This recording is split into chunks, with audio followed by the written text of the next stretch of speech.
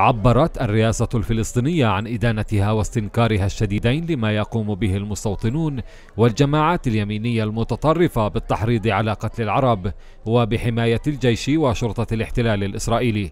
وأكدت الرئاسة الفلسطينية في بيان صادر عنها أن القدس الشرقية هي عاصمة دولة فلسطين وهي خط أحمر. كما وناشدت المجتمع الدولي لحماية الشعب الفلسطيني في القدس من بطش المستوطنين واعتداءاتهم الإجرامية محملة الحكومة الإسرائيلية المسؤولية كاملة عن هذا التدهور الخطير.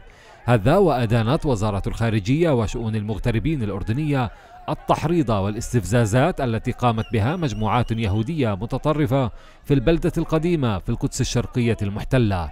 وقال الناطق الرسمي باسم الوزارة السفير ضيف الله الفايز إن السلطات الإسرائيلية القوة القائمة بالاحتلال في القدس الشرقية المحتلة وفق القانون الدولي تتحمل كامل المسؤولية لسماحها لهذه المجموعات بالوصول إلى البلدة القديمة وإطلاق شعارات وهتافات عنصرية والاعتداء على المقدسيين.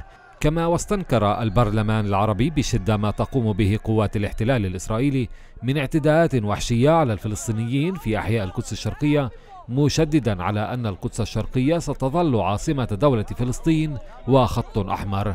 وبدورها طالبت حركة التحرير الوطني الفلسطيني فتح بموقف عربي وإسلامي عاجل للدفاع عن القدس ومقدساتها الإسلامية والمسيحية خاصة في ظل هذه الهجمة الإسرائيلية الشرسة من قبل قوات الاحتلال ومستوطنيه الهادفة إلى السيطرة على المدينة المقدسة وتصفية الوجود الفلسطيني المسيحي والإسلامي فيها.